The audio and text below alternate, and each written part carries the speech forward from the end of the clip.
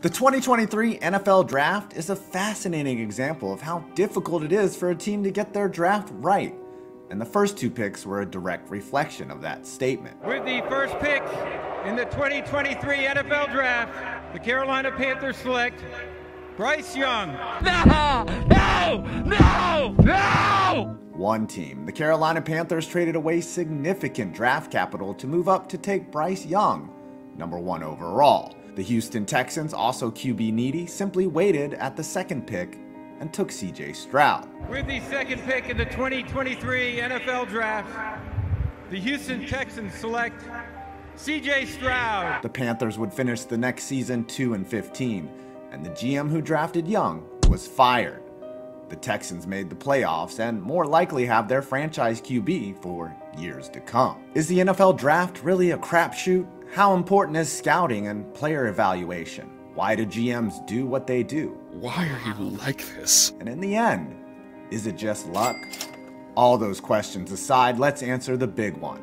Why NFL teams completely f up their drafts is coming up right after this. Thanks, Bear, for sponsoring. They have a lot of great spring sales running out, but Bear Mattress gave me a higher discount than offered on site for my viewers. Head to bearmattress.com forward slash five points and use code five points to get 40% off your Bear mattress. Spring is great, isn't it? Flowers, somewhat decent weather and time to clean. With that cleaning, you need to get toxins and allergens out of your life. And that's where Bear Mattress comes in. Bear is a premium GOTS and Green Guard Gold certified mattress designed to upgrade your sleep, improve your lifestyle and overall quality of life, and it's conveniently shipped to your door for free. That means Bear Mattress is free of any polyurethane based foams and harsh, unnecessary chemicals and pollutants. What you do first is take the Bear Sleep Quiz. My results, I'm a side sleeper, so they put me in a Bear Original King Size Foam mattress, and it was so easy to set up. I've had it for seven months now, and I love sleeping on it. I wake up refreshed and ready to crush the day. With Bear's sleep recovery technology, Celliant powered fabric helps me stay cool throughout the night. Yeah, and I let the dog up here. As I mentioned before, all of Bear's mattresses are Green Guard Gold certified and CertiPUR-US certified, so you can sleep safely and soundly knowing there will be no harmful off-gassing. And hey, they even let you try it for 120 nights, so you can make sure you love it. I love my Bear mattress, and I think you would too. If you're looking to upgrade your sleep, head to bearmattress.com forward slash five points and use code 5 points to get 40% off your Bear mattress for a limited time. They have a lot of spring sales running now, but my code is higher than what is being offered on site. So check it out while you can. The NFL's first draft was actually in 1936. No, not in 1980, which was the first televised NFL draft. In both cases, there have been monumental busts since, both on chalkboards and right in our living rooms. Yes, we all know about the Ryan Leafs, the Jamarcus Russells, the Johnny Footballs. But what about the DeAndre Bakers? Sometimes where the real busts hurt a team don't always happen in the top three or even in the top 10 picks. Where am I going with this? Look, there have been many attempts to quantify the draft over the years. ESPN ranked every team since 2012 on a draft score called CAVO, Career Approximate Value Over Expected, essentially assigning a number to a player's performance relative to their draft slot. What they found out was the Seahawks, Chiefs, and Ravens were the best drafting teams from 2012 to 2022 in all rounds. And to nobody's surprise, the Jets were the worst. I'm not going to pick through the data or specific busts like Zach Wilson and Christian Hackenberg, but the important point here is that all draft ranking sites are going to look at every pick that was made not just the first round, meaning you better be good at drafting every time you take a spin in the draft crap game, not just in the first round. Guess which teams were the best at drafting from rounds 4 through 7 only? The Packers, Patriots, and Ravens. Also, successful teams. I'm also not trying to minimize the value of high draft picks either. Clearly, the higher the pick you have, the more likely they will be both a starter and a valuable asset to your team. The empirical data from multiple sources shows this time and time again. I found an article by Warren Ludford, and he states that despite all the resources available to scouts and talent evaluators now,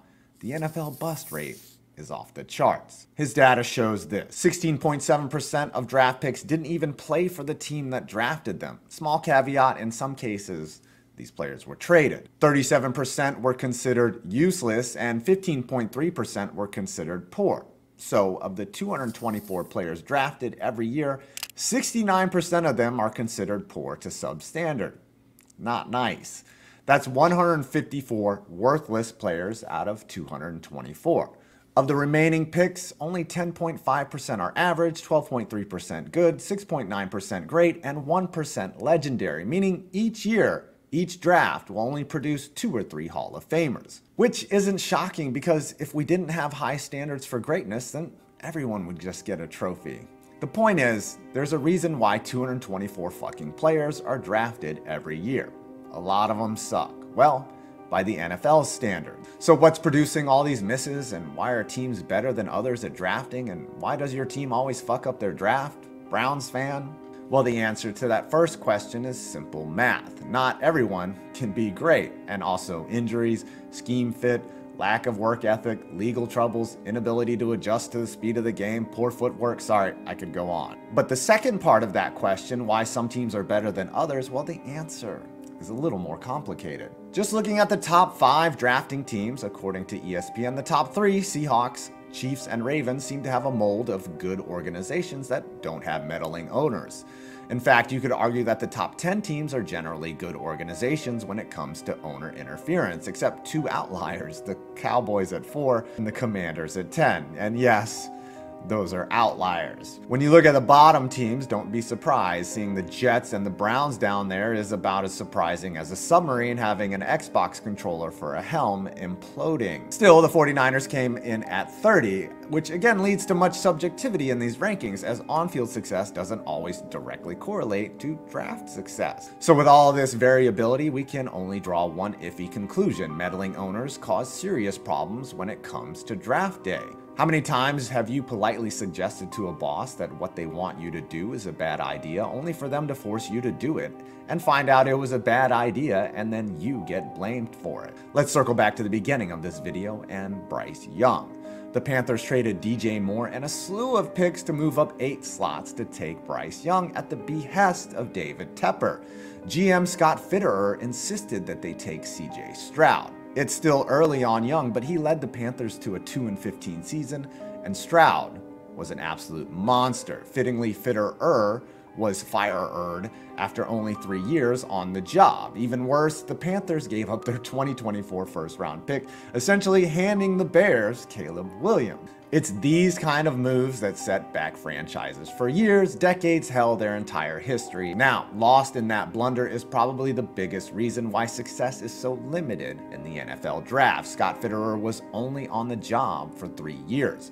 Most NFL GMs get an average of three to four years on the job. As Michael MacKelvey so eloquently put in his video on the draft, most GMs operate on a self serving short term basis, as their moves are generally designed to win now, as any long term effects of their transactions are statistically unlikely to ever bite them personally in the ass, meaning it's highly unlikely that their five year plan even makes it to year four. But that's not to say there is an axiomatic correlation of success for long standing GMs either.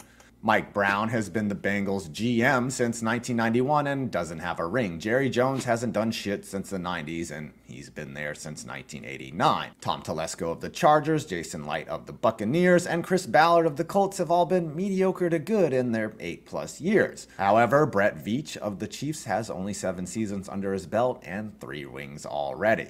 Again, it's a crapshoot. And that leads me to the final point, one I kind of made earlier, is that despite all of the best practices, despite knowing all the things we do, despite all the data, all the measurables, all the scouting, the interviews, and the dramatic phone calls, the NFL draft is still harder than ever to get right. Because at the end of the day, numbers and data mean nothing. There has to be winners and losers.